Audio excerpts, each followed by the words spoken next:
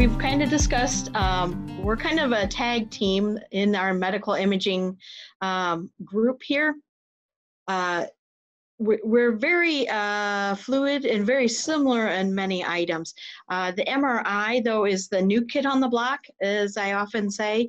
Um, MRI has been a has been an imaging modality since the first image was actually in 1970 in the 1970s.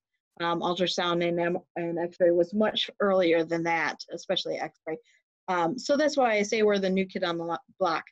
And also, so there's not as many programs out in the country um, like our MRI program. There are very, very few associate degree um, programs that are entry level. And what does that mean? Just like Chris had said, that you can go from radiography to MR.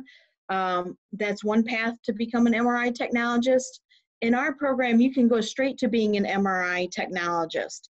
Um, how that's beneficial is that um, they you won't have the employer doesn't have to cross train you. Um, so that because that's uh, usually a pretty good expense on the employer. So um, by having our program, you can go directly into MRI if that is your passion. So I'm going to talk about a little bit about the profession at first here. So what is exactly an MRI? It stands for magnetic resonance imaging.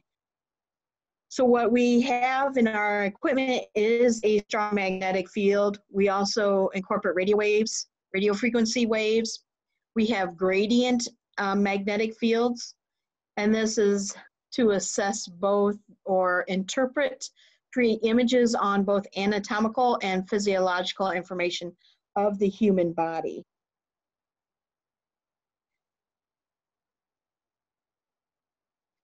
So the MRI um, exam, the patient experience, this is a little bit about, um, if you've never had an MRI, we do have, uh, this is an MRI machine um, patients tend to be very um, anxious when they have an MRI, um, mostly because the machine is relatively small or smaller, um, more confined, um, and that is very difficult for some people.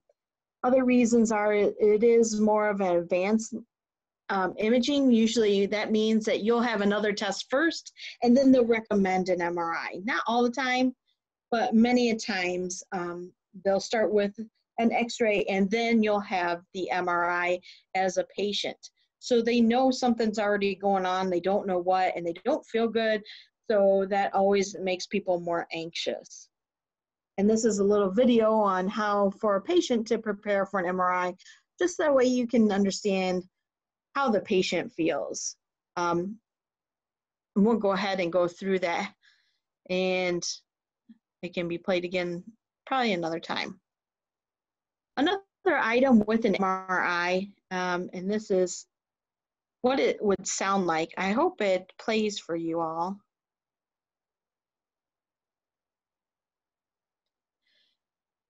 I'm hoping you can hear that. It's an MRI is a very noisy machine. So that also carries some um, degree anxiety for patients and it goes through all these different sounds. It doesn't do them all all the time. Some some are much quieter than others, um, but it does make noise consistently, which is really different. Um, again, like I said, that could cause some anxiety for some patients. So being a technologist, we'll get into that here shortly. Um, uh, we're really there to comfort the patient, help them get through um, the exam.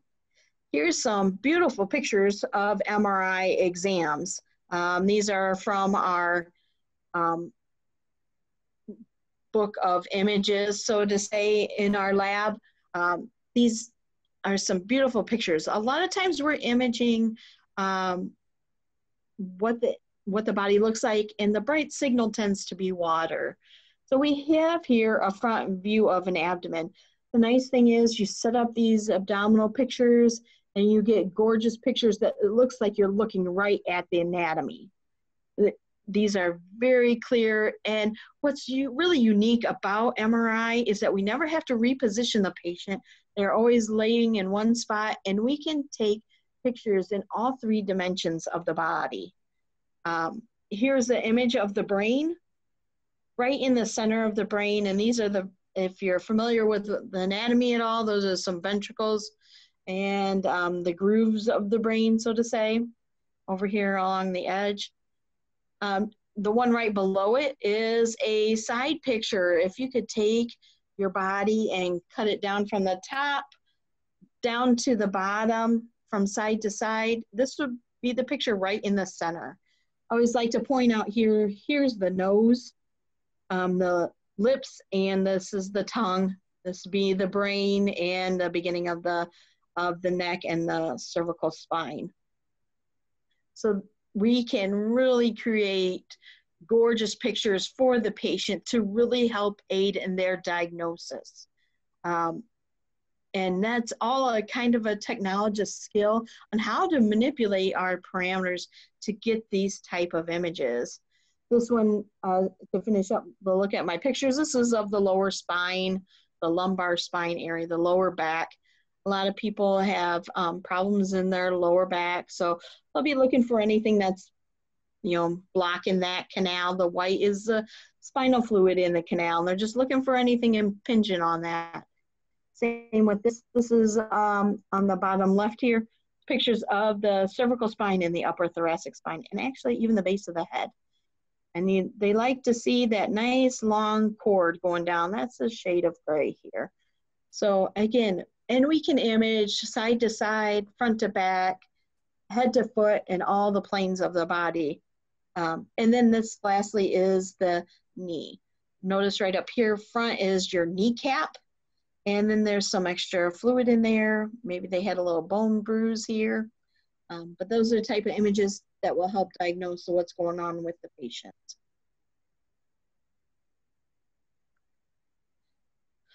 So what does an MRI technologist do? Um, this is a description, it's from the ASRT.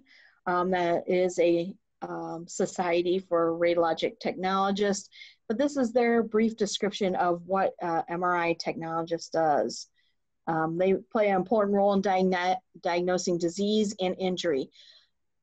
During MRI, the frequency resonance, um, resonant frequency properties are atoms are used within a magnetic field to image anatomic or physiological condition of the body. So we acquire the images, just like the other modalities, we acquire the images and we send them on to a radiologist. That's a physician that reviews the images and then reads and gives a most probable diagnosis by looking at the images. Um, we support the patient with a lot of um, communication, a lot of comfort, most technologists, we um, can be very, should be very empathetic, understanding, patient, and sometimes that is very difficult because there's a lot going on in every medical imaging department. And you, you have a person that you're trying to work with and they have something that's coming from the emergency room. And that's kind of just all, all of healthcare is like that. Um, that's what we as technologists do. You can see our technologists sitting outside in the control area working on the computer interfacing with the computer to tell the computer how to take those pictures that they're wanting. Sorry. Um, pause. So we often worry about safety in MRI. This is, um, it's, it's something we always are concerned about because the magnetic field um, is always on. It's not on and off. It's there's not a switch. Um, it is always on. And these magnetic fields are very, very powerful. The equipment that we're using in in the clinical field, it could actually in a junkyard pick up a car. It is that strong. So we have to be very aware of how what's going into that field, and that is another um, responsibility as a technologist that we take very seriously. So just as this little uh, bold statement said, did you know a paperclip can travel at 40 miles an hour into an MRI machine? And if you have a patient laying in there, um, they probably won't get hurt, but if it gets just in the right uh, crevice, maybe up the nose, they could possibly be hurt. We'll go back here.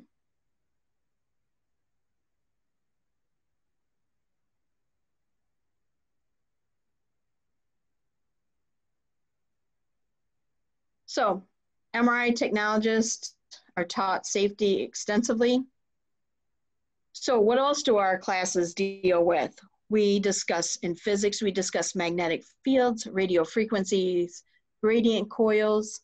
Um, in anatomy physiology courses, we talk about then the body in three-dimensional views.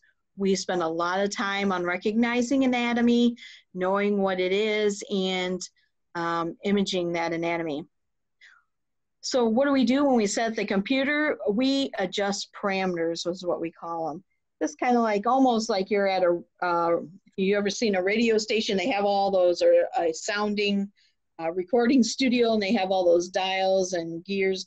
Uh, we have similar items that we're adjusting and tweaking all the time to get that best quality image. So uh, also, also we are trained in patient care skills, venipuncture, um, communication.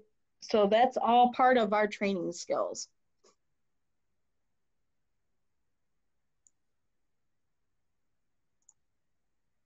So current salary listed by Glassdoor. Um, I put this little hyperlink in here. So hopefully, hopefully is reflective as of today. Of course, I just made this like a week and a half ago, so it probably is not um, going to be too much different hopefully this will be able to open. So where do MRI technologists get jobs? They get jobs in hospitals, specialized clinics, um, very um, heavily in orthopedics. In MRI, we do a lot of imaging of the musculoskeletal system and the neural, um, the neural system. So the brain, brain, the spine, um, those are our heavy items that we image. They can also get um, jobs at outpatient centers. Can also be a traveling technologist, sales. Um, also, after you become seasoned a little bit, there's also education jobs, as what I'm in. Um, so there's a vast opportunity for technologists to get a job.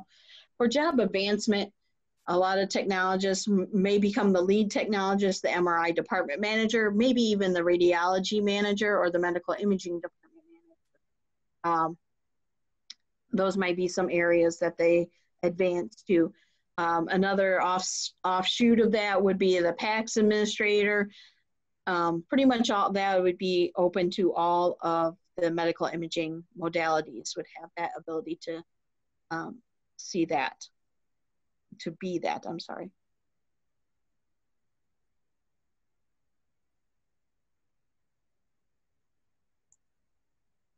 Ah.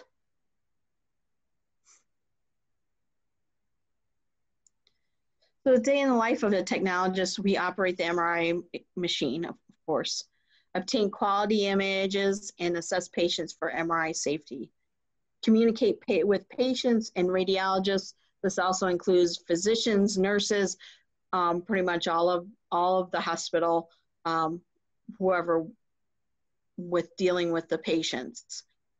Um, we need to understand protocols needed. So we're not going to run the same type of images for a knee as we would a brain.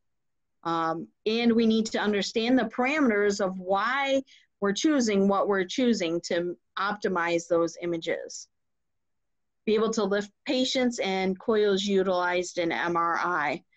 Um, the coil is actually what receives the information from the body, so we're all the time moving equipment from the, the uh, usually almost like a bookshelf, um, an enlarged bookshelf storage unit, and moving it to the table. That's usually placed right in that MRI unit area. Be able to inject contrast material, although we have a high volume of of exams that do have contrast, um, probably well over 50%. And depending on where you work, it could be higher than that. We have to a day in our life also includes follow follow the orders that the physicians um, have ordered on the patient, assess those physician orders just to make sure it all makes sense. You're the double, the second check, the third check, maybe even on those physician orders. So we have to be really attentive to detail. We'll also schedule exams, obtain patient history to convey that on to the radiologist, which is a real important um, part of our. So what do I personally like best about MRI? MRI can show very detailed images of the anatomy of the human body. It's actually based on hydrogen atoms, which is very different than the, than the other imaging modalities. A hydrogen atom is like a little magnet, and it's that's what creates our images. Of course, you know most of our body is water um, so we have a lot of water in there and also the hydrogen and fat is also what shows up nice and bright for us. Um, MRI can pick up things that other imaging studies cannot. We're talking about very, very thin slices MRI can do. Um, one millimeter thickness on our images.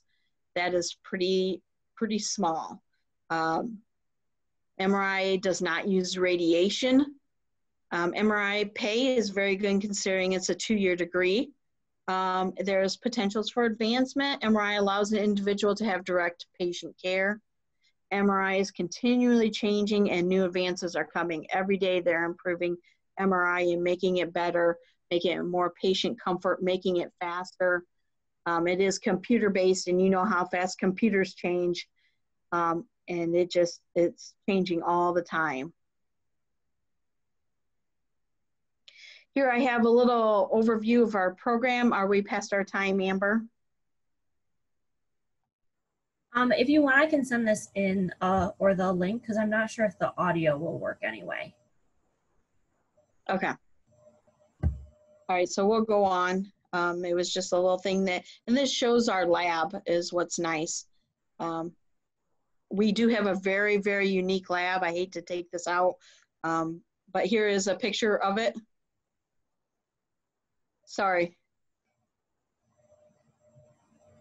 So this is a our background um, of the MRI unit that we have in our lab.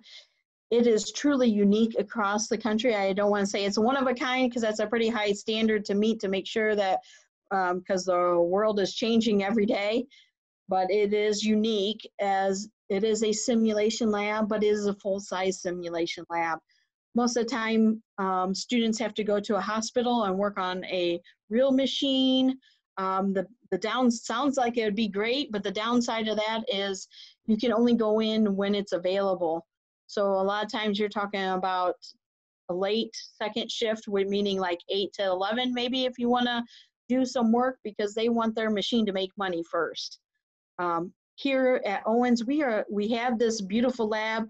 We can teach our students in a controlled environment. We it's as real as it can be. We treat it as if it is a um, it actually has a magnetic field. It has everything but the magnetic field.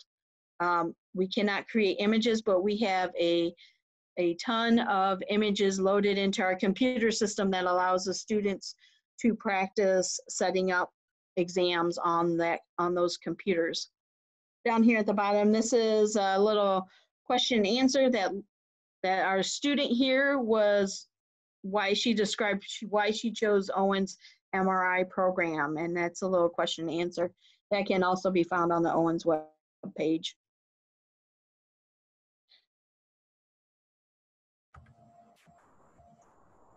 So here is my name, information, and um, if you'd like to get a hold of me, most of the times right now I am remote, so my cell phone is the best contact method, plus my email address. Um, once we return to campus full time, um, I can be located in Bicentennial Hall 172. Thank you very much.